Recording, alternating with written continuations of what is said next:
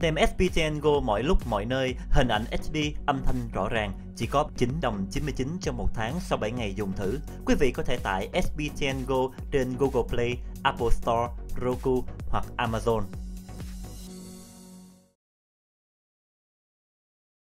Hình SPTN sau đây xin mời quý vị theo dõi chương trình SPTN Morning với đội Dũng và Mai Phi Long.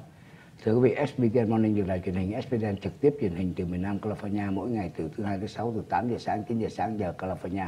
Hôm nay là ngày thứ sáu 15 tây tháng Giêng năm 2020.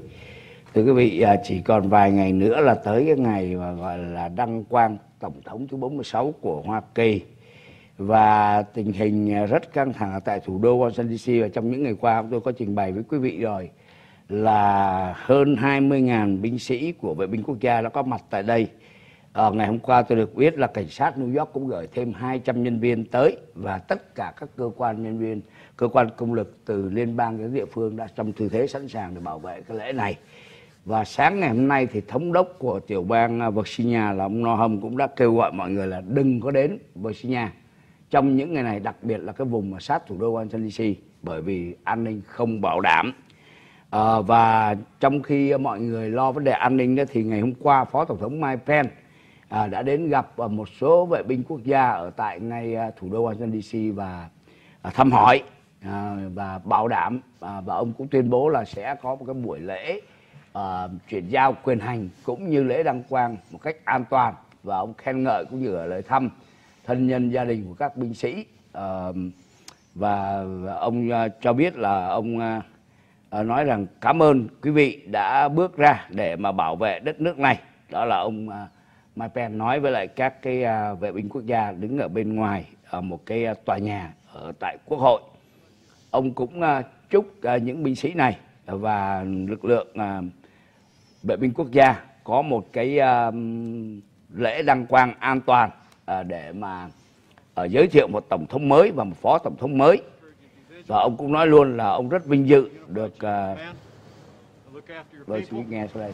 Uh, and we're going to deliver to the American people.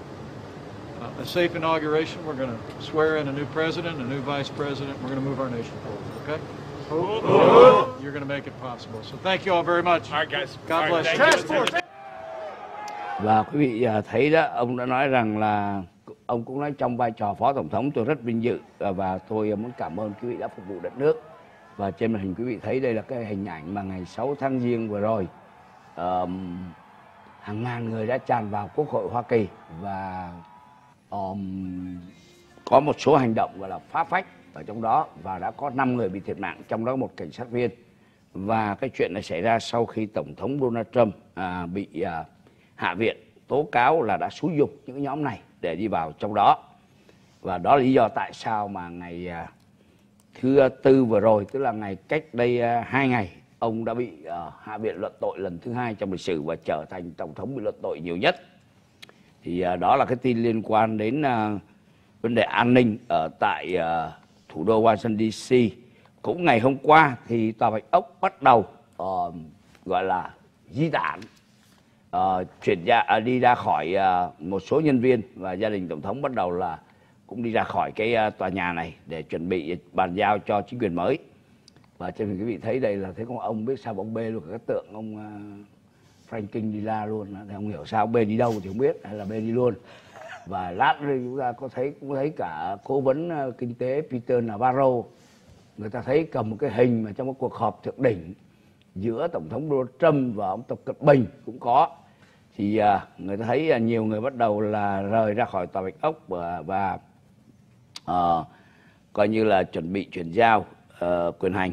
Và chuyện này xảy ra ngày hôm qua và ngày hôm kia trong hai ngày. uh, Ờ, thì uh, cái người mà phụ trách cái uh, trong cái thư gửi uh, cho nhân viên trong uh, tòa bạch ốc đó đó đây là những xe truck mà thấy chở đồ thì uh, người ta cho biết là cái người mà gọi là phụ trách vấn đề hành tránh gọi là White House Chief Usher cũng như cái người curator là cái người mà phụ trách về các vấn đề và linh kỉnh là cảng thì trong đó, đó là chịu trách nhiệm cho vấn đề gọi là quản trị và uh, thu gom tất cả những đồ đạc à, của gia đình tổng thống cũng như mọi cái vấn đề mà liên quan đến tổng thống để chuyển đi. Và những cái này thì à, một số đồ cá nhân thì đương nhiên là sẽ được đưa về à, ờ, uh, uh, Mar-a-Lago à, cái chỗ mà nơi mà tổng thống có thể sẽ à, đến đó vào ngày thứ à, tư này. À, đó là cái mà người ta dự trù là như vậy. À, còn à, về phía tổng thống thì à, được biết là ông dự trù sẽ bay ra khỏi Washington DC ờ, vào trước cái à, đây đây đây đây đây đây ông Peter Navarro thưa quý vị ông mang theo cái bức hình này bức hình nổi tiếng mà trong đó có ông ngồi trong đó luôn cái lúc mà uh, gọi là họp thượng đỉnh giữa ông Tập Cận Bình và ông Donald Trump trước đây. Đây là những cái gọi là đồ vật kỷ niệm người ta có quyền người ta mang đi trong văn phòng của họ. Thì uh, không biết là cho đến giờ phút này là còn có ai nghĩ là tổng thống Donald Trump ở lại nữa không anh Long?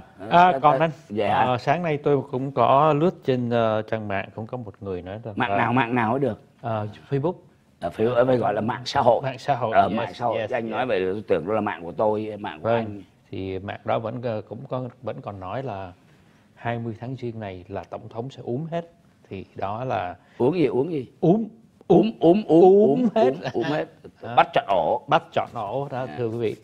Nhưng mà những gì mà chúng ta thấy thưa quý khán giả cái hình ảnh mà những chiếc xe gọi là để mà dọn nhà đậu ở tòa bạch ốc và các nhân viên là khiêng đồ nghề lục tục đi ra.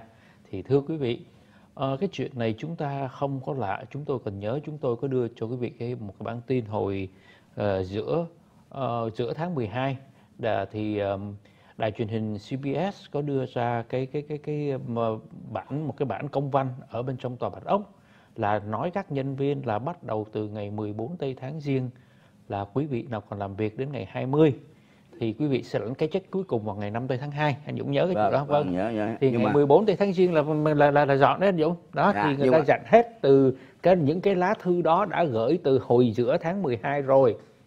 Thì thưa thưa anh thì bây giờ chuyện nó xảy ra như thế nhưng mà từ hồi tháng đến 12 giờ người ta vẫn chưa tin.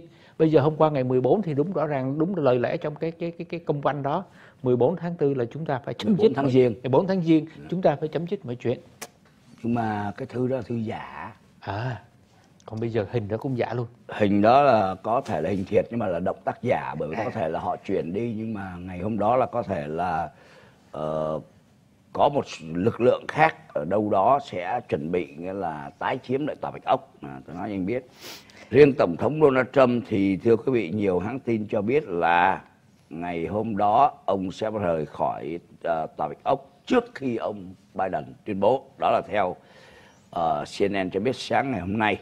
Um, bởi vì ông không muốn đi ra khỏi tòa bạch ốc trong vai trò là cựu tổng thống à, tức là hôm đó ông sẽ đi lên bước lên cái Marine One giống như cái cái cái cái, cái, cái, cái máy bay để quý vị thấy. Tức là ông sẽ rời trước cái giờ mà ông Biden bước vô tòa ốc đó, tức là lúc đó tôi vẫn còn là tổng tư lệnh quân đội tôi vẫn còn là tổng thống. Nhưng mà đó. có có ngoáy đầu lại không anh? À, ngoáy hay không ngoáy không thành vấn đề. Cái quan trọng nhất đó là uh, tôi không dự ông không dự lễ là ông nói cái này từ hôm 8 tới tháng giêng rồi. Thứ hai nữa là ông uh, Ờ, sẽ rời tòa bạch ốc trong vai trò là tổng thống chứ không phải là cựu tổng thống. Cái đó là cái quan trọng đối với ông Trump. Đó. và cái chuyện ông Trump không dự lễ đăng quang của tổng thống đây là lần đầu tiên à, kể từ năm 1869 à, ờ, mới có cái chuyện đó thôi. À, cũng hơn 100 năm rồi thấy không? À, và à, bây giờ ông à, những nhân viên của ông đang chuẩn bị là ngày hôm đó sẽ có một đám đông đi vào tòa ốc để tập trung để nhìn tổng thống Donald Trump à, chia tay. Đó tôi, tôi bước lên tôi bye bye quý vị trong vai trò là tổng thống. Đó. Thì à, những cái cơ quan truyền thông khác đều gọi đến để hỏi à, tòa bạch ốc cái à, dự định này của tổng thống Donald Trump thì không ai trả lời. Đó. thì à, như chúng tôi nói là ông sẽ đi bước lên cái chiếc Marine One và sau đó thì bay ra phi trường Andrew Air Force rồi ông đi cái Air Force One về Malago à. bởi vì sao? Nếu mà đi sau cái giờ mà ông Biden mà gọi là tuyên thệ thì ông sẽ trở thành cựu tổng thống và ông sẽ phải mượn cái chiếc máy bay Air Force One của ông Biden. À, bởi vì tới 12 giờ trưa ngày thứ tư 20 tháng giêng thì cái chiếc máy bay Air Force One đó là thuộc về ông Biden chứ không còn ông Donald Trump nữa. Thành ra à, ông bay trước cái giờ đó thì ông vẫn bay là dù chỉ một giây thôi. Vẫn là cái chiếc máy bay trong quyền sử dụng của tôi. Khi tôi đã bước lên đó là nó bay ra rồi mà tới 12 giờ nó đã lên trời rồi. Lên trời rồi thì là phải cho tôi đi. Và về vấn đề an ninh cái vali mà có cái cốt mà hạt nhân đó quý vị quyến tử trong đó đó là vẫn được mang theo ông tới mà là gồ đó. nhưng khi mà ông mang đi như vậy đó, họ sẽ phải làm thêm một cái nữa vali thứ nhì nữa có vali thứ gì đó để sẵn cho Biden lúc Biden vừa để cái cái tay cái tay lên cái cuốn bài bồ xong á là họ đổi cái cốt. Đổi cái cốt liền.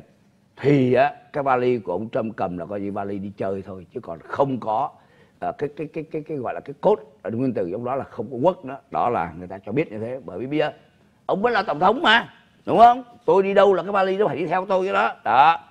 Thì cái đó là cái điểm mà à, đáng chú ý ờ, thành ra là thưa quý vị ờ, lúc đó là tổng thống Donald Trump mà khi mà đi đó vẫn là tổng thống. Sau khi bay đi rồi thì trên ở lúc đó là trên trời thì lúc đó thành phó cụ cụ tổng thống thôi. Cụ tổng thống mà lúc tôi đang ở trên trời rồi còn dưới đây thì mới là gọi là là tuyên thệ. Đó là tin tức cho biết như vậy. Và uh, một chuyện nữa là trong những cái ngày cuối cùng này thì phải nói là tổng thống Donald Trump rất là buồn. À, bởi vì ông không không không không biết làm gì hết ông không biết làm gì cả. Và ông uh, hôm rồi ông coi cái uh, buổi mà luận tội ông ở hạ viện ông rất là bực mình. Nhất là khi mà ông thấy rằng là uh, có uh, những người bên đảng cộng hòa đó không có gọi là binh vực cho ông đúng mức giống như cái đợt mà ông bị luận tội vào cái ngày 19 tháng 12 năm 2019 đó. thì uh, ông cũng thấy là cuộc đời nghĩa là bây giờ ông sắp sửa ra đi rồi cái là nhiều người uh, Ừ, coi như không còn mặn mà với ông nữa. Rồi ông cũng đang lo ngại về các cái vấn đề mà pháp lý. À, bởi vì sau khi mà ông không còn là tổng thống thì ông không còn được uh, miễn uh, uh, trừ một số uh, cái vấn đề pháp lý đấy chẳng hạn như hiện nay ông đang là tổng thống thì nguyên tắc là bộ tư pháp không được quyền truy tố một tổng thống đương nhiệm.